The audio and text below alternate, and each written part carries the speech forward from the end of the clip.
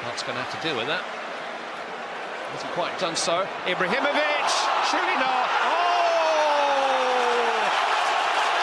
Now that is brilliant. Wow.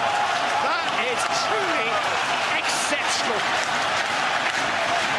You've got something to talk about tonight, folks. You have just seen a stunning goal from Zlatan Ibrahimovic. He's got four tonight, and England are beaten.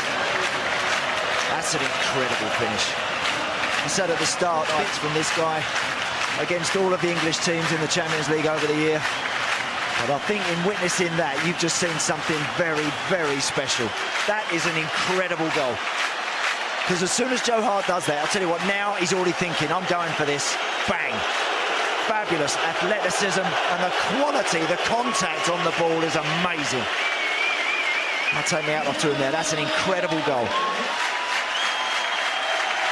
It's not the greatest work from the goalkeeper, is it? But how much has he still got to do? He's facing the wrong way. He's 35 yards out. Just an incredible goal.